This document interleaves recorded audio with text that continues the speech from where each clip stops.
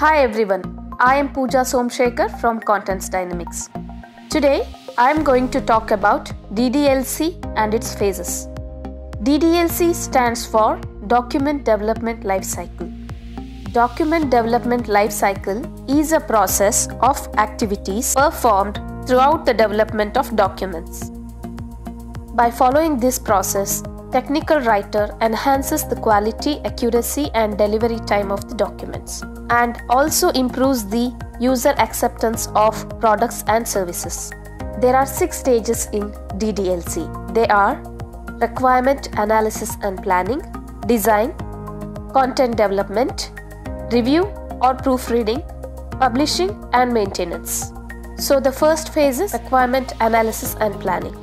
In this phase, technical writer gathers useful materials about the project and analysis and understand all the information about the project. Also get the requirements about the project. The first main thing in this phase is a technical writer should know their target audience.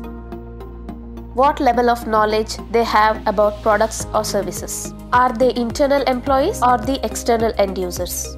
If they are external end users, they possess zero knowledge about the product or services. But if they are an internal employees, they intend to have knowledge about the product and services. In this stage, there is also planning done on which tools to be used in order to create a document. Say for example, which authoring tools or tools which are required to take the screenshot or video capturing tools translation tools, etc. Document delivery deadline is also planned in this process. So the next phase is design. In the design phase, the main focus is on the format of the document, the layout, and the styles which are required to create a document. In this phase, the technical writer will also know about approximately how many pages should be the document, what should be the format, and what are the styles to be used in order to present the document. The third phase is content development. In this phase, the technical writer starts writing the document. This will generally doesn't take much time because maximum time is spent on research, analysis and information gathering in the first and second step. When you have a plan, strategy, and required information, writing down the document doesn't take much time. Create a TOC, table of contents, to avoid the redundant content or draft the document in order.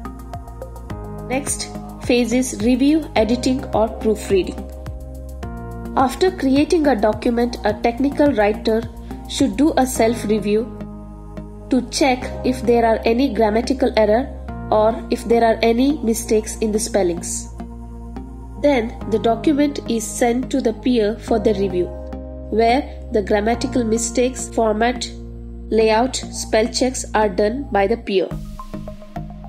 And the technicality is checked by the SMEs or the developers.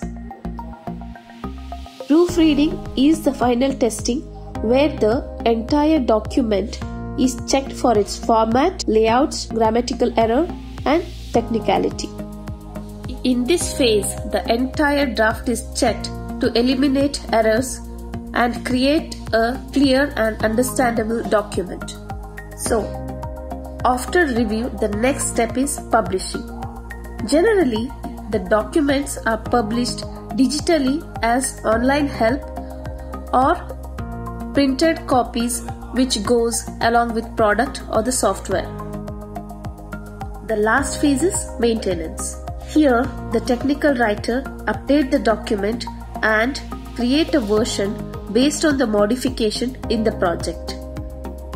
If any new product is launched in the market or any feature is added then the technical writer will update the document accordingly.